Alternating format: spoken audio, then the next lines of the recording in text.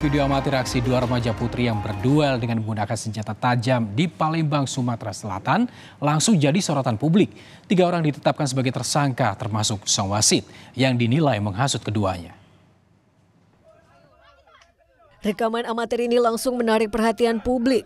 Pasalnya, dua remaja putri nekat membawa senjata tajam berupa celurit dan terlibat saling serang. Video terpaksa kami samarkan karena mengandung unsur kekerasan. Peristiwa yang terjadi di Palembang, Sumatera Selatan ini pun berujung pada pelaporan orang tua kedua pelaku ke polisi. Setelah didalami, aksi ini dipicu saling tantang di media sosial serta adanya penghasutan yang dilakukan seorang remaja pria yang juga bertindak sebagai wasit saat kejadian. Ia pun ditetapkan sebagai tersangka.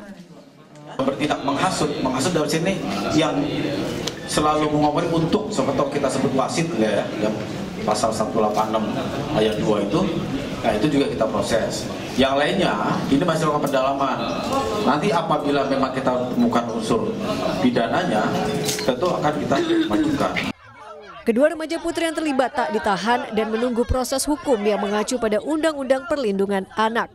Sementara remaja pria yang berperan sebagai wasit terkena pasal penghasutan dengan ancaman hukuman tiga tahun penjara. Reski Oktora, Muklas Diferensial, Kompas TV, Palembang.